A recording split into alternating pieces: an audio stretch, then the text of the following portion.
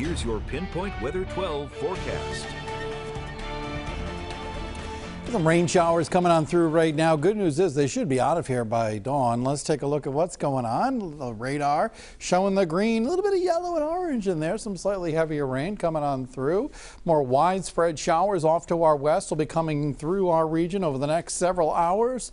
Threat tracker for the overnight. Low chance of anything severe. Same for Sunday and same for Monday. Tomorrow just looks to be cooler. That's the biggest difference with Sunday compared to what we had on Saturday. Here's a live look at Narragansett. Not really seeing much in the way of shower activity here. In fact, visibility is pretty good. There's the Newport Bridge there in the distance. Meanwhile, in Providence, we've got some light rain falling. You see the raindrops on the lens here.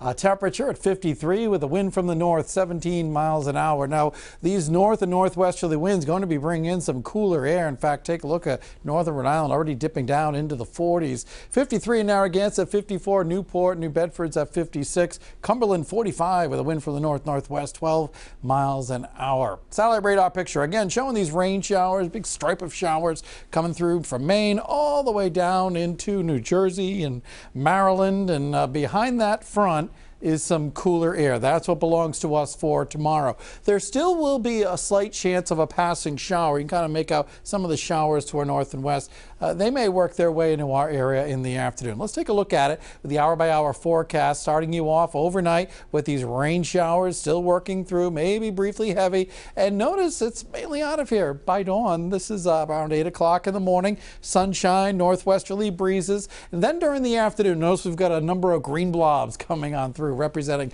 chance for a couple of showers and sprinkles. But I think most of the day will be dry tomorrow. It will be noticeably cooler. Here's your forecast for Sunday morning. Looking at temperatures to be uh, climbing back through the 40s, getting up to about 50 degrees or so by noontime. Sunrise, by the way, for any sunrise services, about 6.02 in the morning. It'll be chilly at that time in the morning, and then temperatures warm up a little bit, but not quite as warm as what we had on Saturday. We were well into the 60s. On Sunday, in the 50s across the area, 52 Hope Valley, 53 in West Warwick, Providence area around 53. Woonsocket topping out around 52. Coventry in the low 50s. Over in southeastern Mass, thinking about 53 degrees in Fall River, with a chance of a couple of passing showers or sprinkles during the afternoon hours, pretty much everywhere.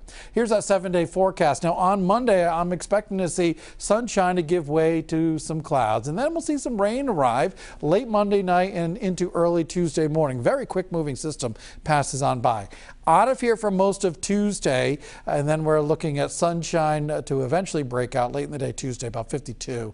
Gets a little milder for through the rest of the week. And by next Friday, looking at mid 60s. Overall, Easter Sunday looks to be pretty decent. And that is good news as people celebrate tomorrow. Just bundle up for the Easter egg hunt, especially in the morning. Absolutely. Good news there and tips for you guys. Coming up in sports.